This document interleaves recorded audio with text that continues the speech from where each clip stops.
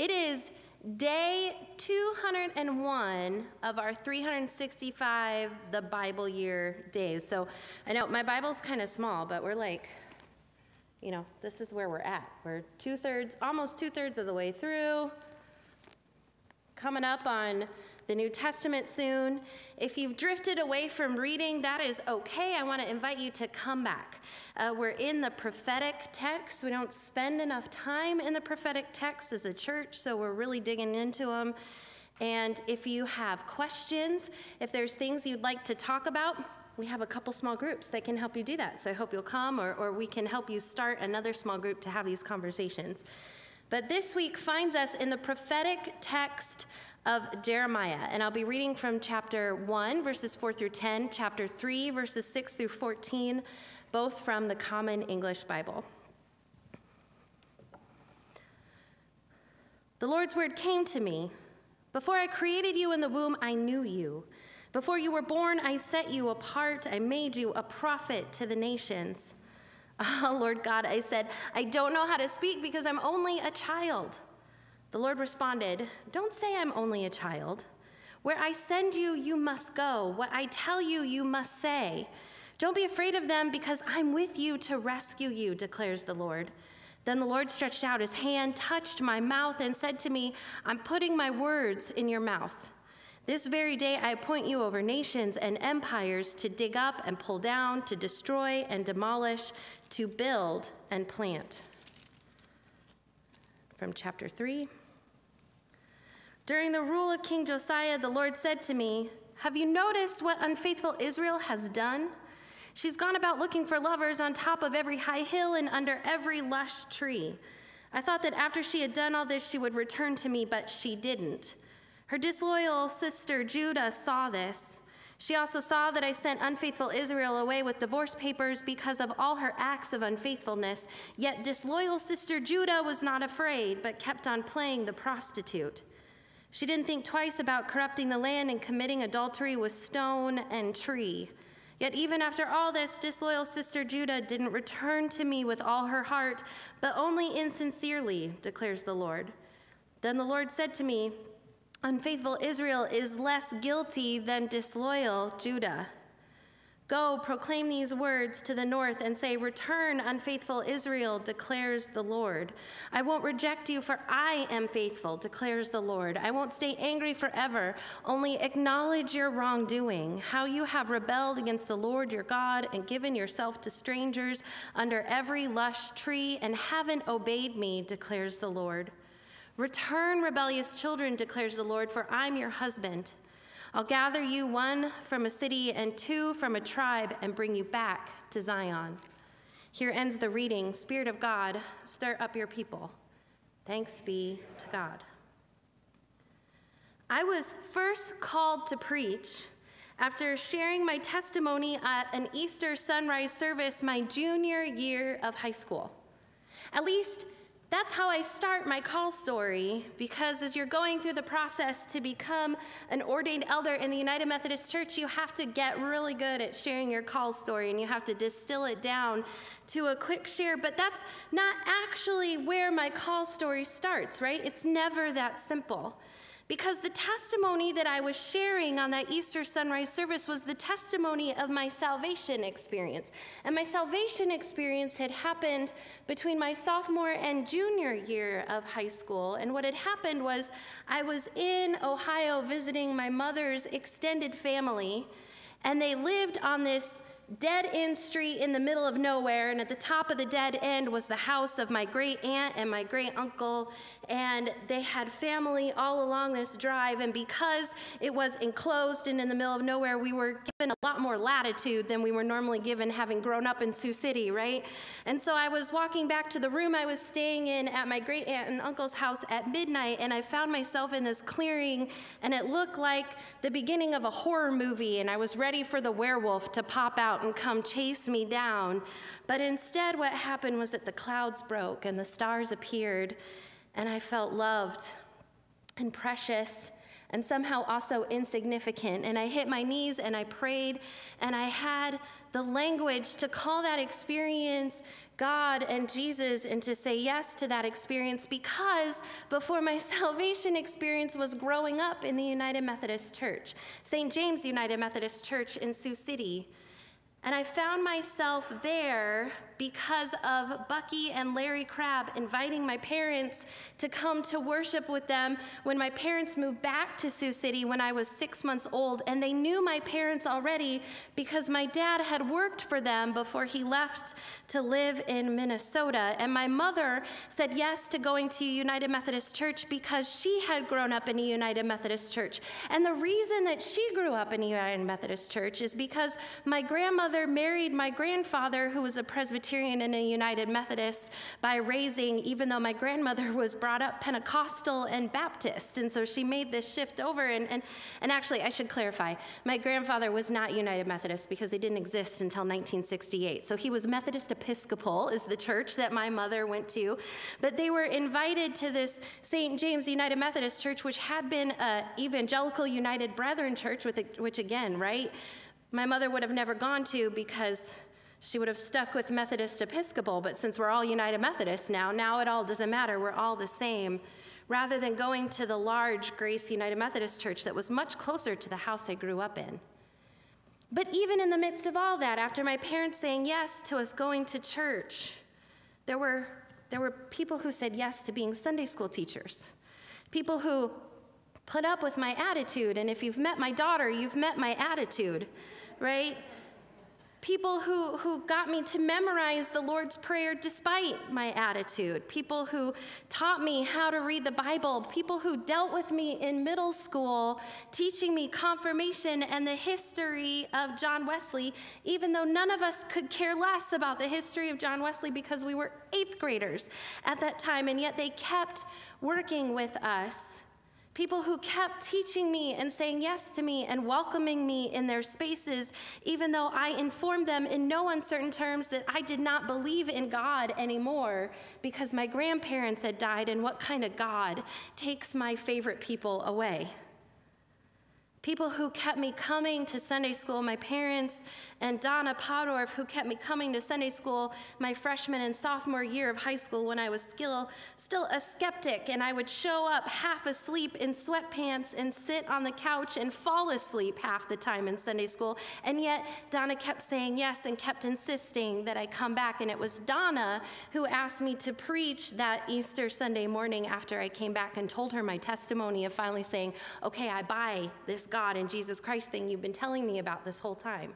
And after I preached, it was Reverend Ken Peterson who said, You have a call to preach, and had to listen to me go, Dude, Jesus and I just met again. I'm not ready to work for him, right? and, and kind of laugh it off. And it was Reverend Bernie Colorado who, when he first met me after he took over for Ken, who looked at me and said, I heard you're the one that's called to preach. And when Bernie met my resistance, he, he went around my resistance and he said, I heard you like preaching. If you want to preach in my pulpit, you have to take a lay speaking class. And that's actually where I met Reverend Lynette, who used to serve here before I got here, right? It's a small world after all. And where I met Reverend Tom Schinkel, who taught an evangelism class for me and then who encouraged me to apply to be the youth leader at my church. And it was Bernie who said yes to me being the youth leader, even though I was a 20 year old college student that lived 45 minutes away and would have to commute in. And it was Bernie who answered my email when I said, okay, what if you're right about this call to ministry thing? And it was the SPRC that said yes to me, even though I wasn't even 21 yet. And it was the District Committee on Ordained Ministry who said yes to me, even though when I met with them, I was like, I've been told I have this call. I don't know what that means. I'm not sure what I'm doing. And it was Reverend Steve Pullman who invited me to be involved in clinical pastoral education between college and seminary, and who said, We almost never say yes, but you might as well apply. And he and his team said yes, even though I felt like just a scared kid. And my first introduction to ministry education was walking into a hospital room saying, Hi, I'm the chaplain, and the woman saying, I don't do that religious crap, go away. And I ran away. Yes, ma'am. And I ran back to Steve Pullman's office and I said, Nope, I am not called to this. And he said, Yes, you are. Go again. Why am I telling you this?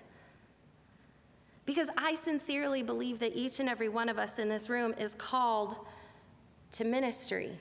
Maybe not set apart preaching ministry like I said yes to, but we're called to a ministry as outlined by our membership vows through prayers, presence, gifts, service, witness.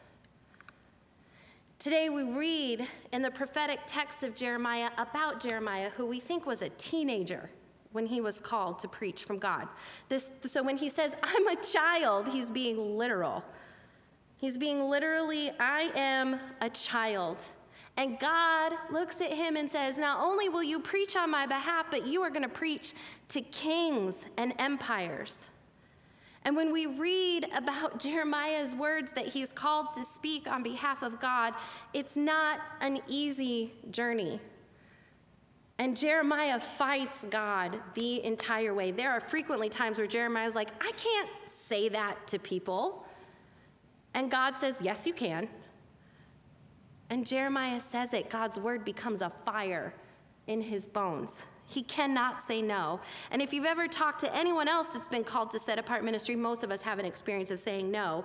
But all of us are called to ministry, and all of us have probably had the experience of wanting to say no to what we're called to because it sounds scary, it sounds overwhelming. We have no idea if it's even going to be effective. And so our first response is, I don't want to do that. But like Jeremiah, we have no idea how much potential our yes has. Jeremiah probably could not imagine that thousands and thousands and thousands of years later, we here at Broadway United Methodist Church would be reading his words and talking about his call. All he could do is say yes and be faithful. When I was six months old, Larry and Bucky Crabb, who've continued to be really good friends of our family, probably weren't probably didn't ask my mom and my dad and myself to come to church with the idea in mind that someday I would be preaching down here at Council Bluffs Broadway. The first time I met Reverend Lynette, we couldn't imagine that I would follow her at one of her local churches that she had served at. And yet, all of these yeses that people answered. All of this, yes, I will invite them to church. Yes, I will teach this class. Yes, I will serve on this committee. Yes, I will give money to St. James United Methodist Church so that we can have a Sunday school and a youth program. Yes, I will teach third graders how to write out the Lord's Prayer, even though they don't care about it at the moment. Yes, I'll keep showing up in this our high school classroom probably broke like a thousand fire codes because it was technically a converted closet with some old couches in it, and we had to use space heaters to regulate our temperature. I mean, it's amazing. Uh, there were melted shoes on those space heaters, right? It's amazing we didn't burn down the building. But Donna kept saying yes to showing up in that classroom, even after having to have her knees replaced so that she could walk up the stairs and get to that back classroom.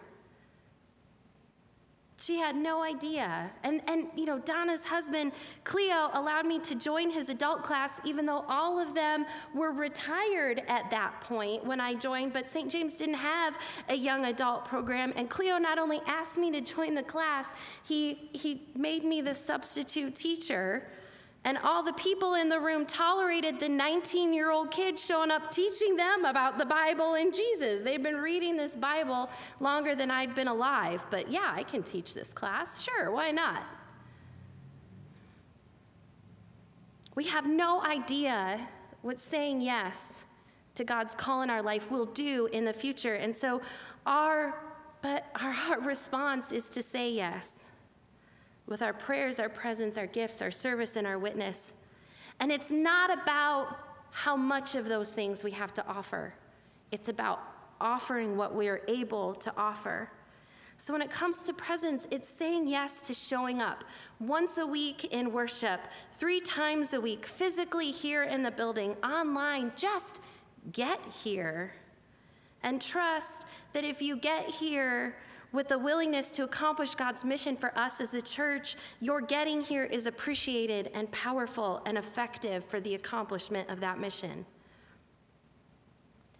Say yes to praying for the church, whether it's one minute a day or 20 minutes a day, or you're retired and you're stuck in a chair and you have hours of time, and so you give hours of time to praying for the church and our leaders. Whatever amount of time you have to say yes to, offer it and know that if you say yes for the purpose of accomplishing God's mission for us, it's appreciated and it's powerful and it's effective.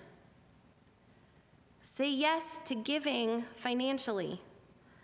I don't care if it's a dollar a week or $20 a week, $500 a week, $1,000 a week. I know right now it's hard to talk about giving because the economy is crazy, but we're all able to give something. And if we give out of a generous heart, no matter how much it is, if we give, if we give it to accomplish God's mission for Broadway United Methodist Church, it's appreciated and it's powerful and it's effective. We're called to say yes to volunteering whether it's 10 minutes a week or 20 hours a week. Come and greet at the door before worship. Be the friendly face of hospitality that we just sang about. There's somebody who loves you here to greet you at the door. Come and do that. Hand out bulletins, click slides, learn to run the camera because Chris thinks he's allowed to go to college, so we need a new camera runner. Come fold newsletters. Come lead a small group. Come sing or play in the praise band. Come do liturgy. Come light candles.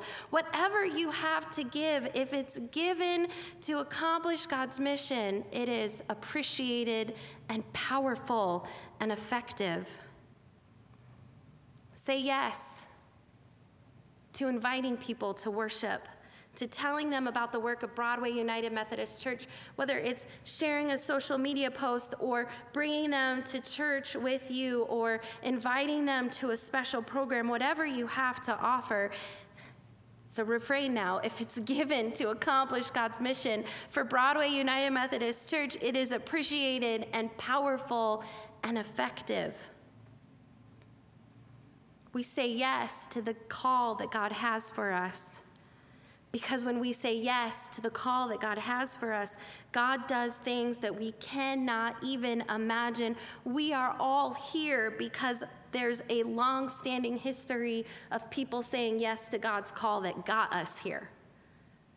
We could all trace the lineage like I did for how we wound up with ourselves in these pews watching online, all because somebody else said yes to something that helped get us here. And we have no idea how long that impact will last, well after our lifetime here on earth.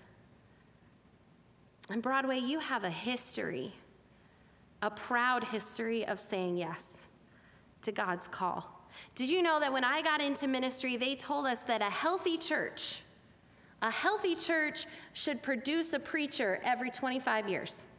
That's what they were saying. Every 25 years, you should produce a preacher. Do you know how many preachers have come out of this church in the last 25 years? We've got Brian Milford, Brian Williams, Alex Bruning, Andrea Kroshauer. Am I forgetting? Jim Devine is now one of our lay preachers.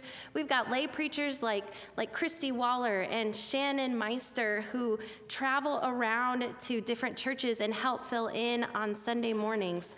Because you, as a church, keep saying yes. One of the things you keep saying yes to is, is come stand in front of us and give us your first sermon, and we'll keep inviting you back. You've heard people's first sermons. If you could have heard my first sermon, you wouldn't have asked me to come serve here, right? Because the first one's always rough. It's never good. The theology and the maturity and the way of delivering sermons always gets better with time, but we have to say yes to the first ones, to being the people that allow the 19 year old kid to teach the Bible class. You have a long history of saying yes. And the call today is to keep saying yes to God, to have the courage to say yes, even if it feels a little bit scary, to offer what you can offer with gladness and generosity, not to bind yourselves. I don't want you to bind yourselves in any way to take up time that you need for work or to take funds that you need to survive. But to trust that regardless of how much time you have to offer, or finances you have to offer, or the type of gift that you have to offer, that it is all appreciated and powerful and effective for accomplishing the mission that God has for us here at Broadway United Methodist Church.